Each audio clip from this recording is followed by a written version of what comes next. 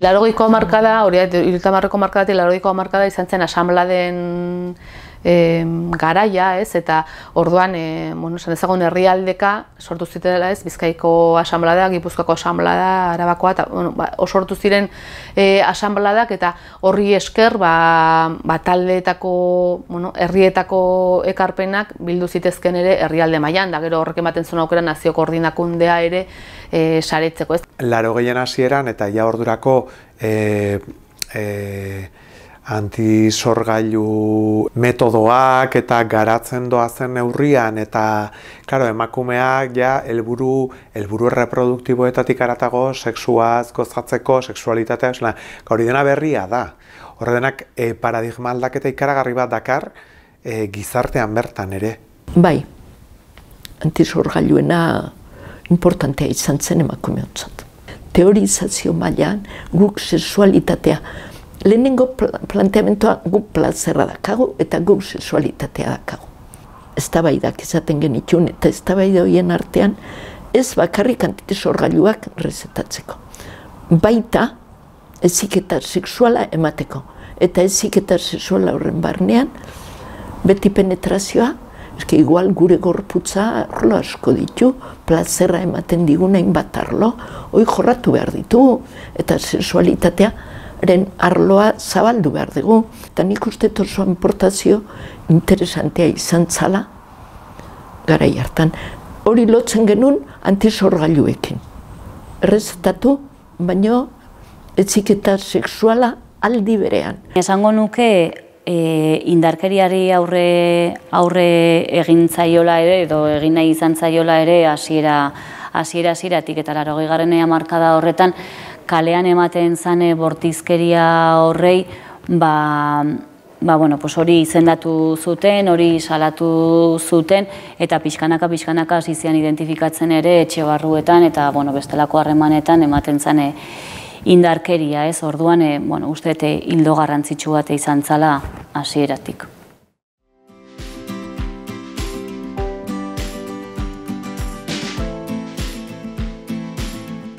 Abortoa etzen lortu guk eskatzen genitun supuesto guztietan.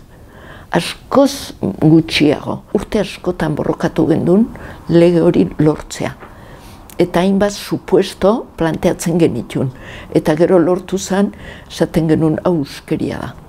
Ez da abortua doan eta askea emakume guztientzat. Urte batzuetan, bai, bai laro gehiagaren amarkadan eta bai, baita laro gehiamargaren amarkadan ere, eta milagarren urtetik aurrera, ba egondia, bai nolabait eh, repilikak e, abortoatzeko eskubidearen e, alde, ez? Eta emakumeak edo feministak mobilizatu gea ba markada guztietan, bai ba lege aldaketak e, e, aldarrikatzeko edo atzera bueltarik ez egoteko. Ba abortuaren lege hori 1985ean eh ba mugatua zen o joan da urratsak egiten eta hobetu da. Gero 2010 marrean ja la ley de plazos famosa lortu zen. Eta orain pues kolokan dago berriz. Mundu mailan, eh? Mundu mailan dago kolbeide estatu batuetan ja debekatzen hasi dira. Nola dagoen panorama.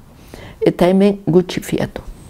Laroita beratziko martxuaren sortzian, Gipuzkoako feminista lesbianen e, elkartiak e, leloa, aterazuen leloa, ba, impacto handiko lelo bat izan zen, eta zuzergaitik zara heterosexuala ez da.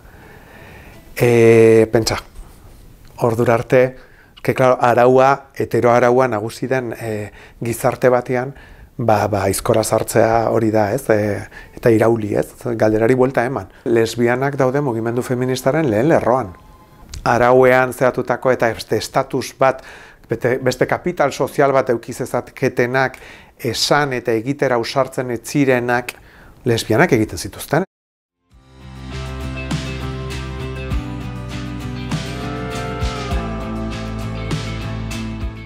Eta, laroita marreko markada beti aipatzen da izan zela ez instituzionalizatze garai bat ba, besteak beste jamakundek ere hartzen du e, gorputza handiagoa, erakundeetan ere feminismoak eta feministek espazio batzuk hartzen dituzte, eta testu inguru hortan e, ba, sortu zen e, plaza handarriok donostian hain zuzen ere, e, ba, bueno, e, alderdi politiko bat, emakume osatukoa, e, feminismoa e, ardatze izan izan duena eta mugarri bat ere badena esateko alderdi politiko bat emakumez eta eta feminismoari nagusitasuna emango diona, ez? Hauteskundetan zergatik ez parte hartu. Batzuk garbi geneukan arlo horretan ere gure hitza entzun bartzala. Eh, instituzio mailan. Eta ez hori bakarrik, erabaki asko hor hartzen diala. Eta emakumeek egon behar dutela baina ez da nahikoa esatea emakumeek ere egon behar dutela. Emakumeek ze planteamentu daukaten. Bueno, plataforma politiko batzan, Plaza Andreok eh, helburu horrekin sortu zen, momentu batean ba, eskatzen didate eta eta bueno, ba, ez, e, ba, bai, ba, guazen horra urpea jartzera, baina ez da ere intentzio e, haundirik gabe. Eta bueno, nahiko ondo, ba, aurreko urtetan e, ateratakoa bikoiztu egin genuen, baina genuen ezerratera eta eta bueno eta eta bai eta eta listo bai. Baina bueno ideia polita da ez? E, emakumeen plataforma edo plataforma feministak sortzea udaletxetan e, bazkenean gutxienez errepresentazioa lortzeko ez bada ez? Eta hor ere ondo pasatu genu zerbait egin gendun hainbat boto lortu genitun zen udalerako eta diputaziorako. Eta hainbat zea e, hauteskundetan jun izan geha.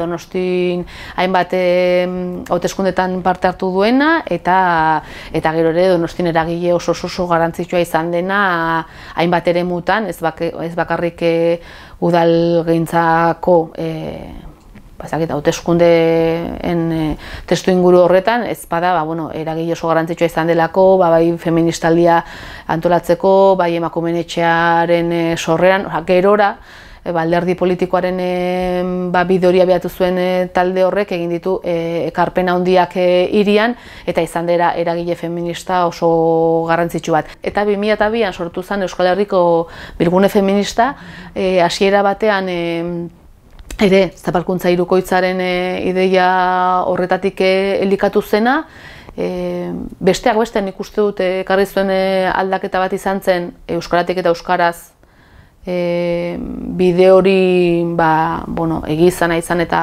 aurrekoek baino sendoago eta irmoago e, garatu dutela.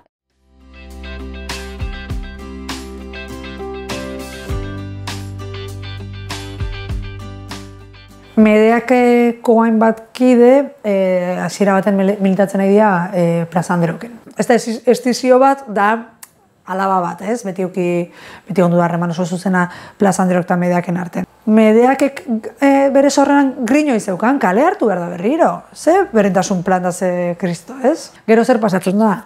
Datoz queer teoria, dator postpornoa, datoz beste, dator transexualidadea, dator eh, boiereo politikoa, eta hor dator 2000 bederatzean, sortzean bederatzean, transfer, transfeminismoan sorrera, ez, estatu mailan.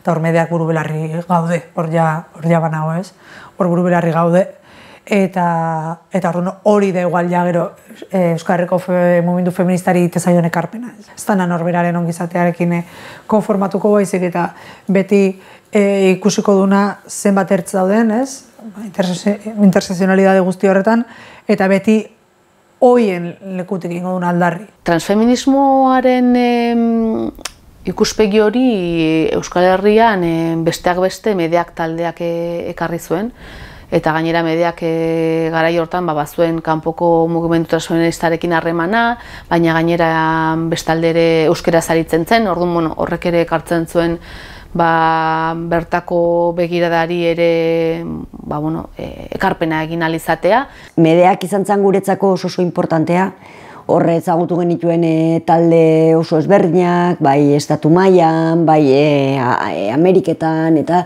eta orduan, jo, elkarrana izan da e, oso estua beste eragile batzuekin, ez? beste talde batzuekin. 2000 garren urtan ja, Eta nik adibidez, egia da emakumeen mundu martxaren testu inguru hortan, ja sumatzen nuen ba, beste giro bat sortzen ari zela, ez, eta beste saretze bat, eta ba, bueno, ba, zegoela hor zerbait. Izan zen oso jai giroan egindako e, martxa bat, eta bueno, gero ere bazuen e, munduko emakumeekin konektatzearen imaginario hori geroko mundu martxetan egon dana, batetik, bueno, aizpatasun eta elkartasun e, global hori ikusgarri egitea, baina aldi berean guk elkarrizketan jartza eta jakitea, bueno, eta nun, gunun gaude ez, ikuspegi global hortan, edo nun nago ni, edo, eta nola desplazatu behar dituan ere ikuspegiak, ba, bueno, aldik eta, bueno, ez, askapen e, eta justizia global globalago hori ere e, garatzeko.